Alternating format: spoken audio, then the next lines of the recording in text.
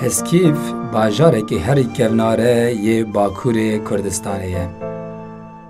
Ev bajarê me yê dîrokî li herdu qeraxê Çemê Dîcleyê ava bûye.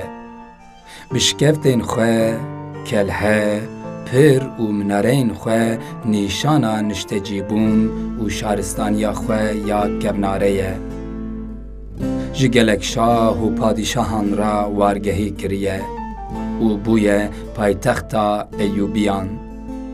Ji Sumeran bigire heta Akadan, heta Asûr û Babîlan, heta Medan, heta Pers, û Bîzans û Merwaniyan û gelek yên din mîrata dîrokekî deh hezar salî bêtir di nava xwe de hewandiye.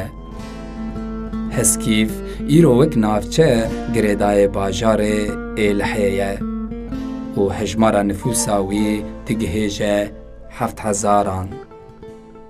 Lê çi mixabin, ev bajarê me yê dîrokî û wargeha şaristaniyê îro bi xetereyên çêkirina bendavan re rû bi rû ye ku di bin avê de bimîne.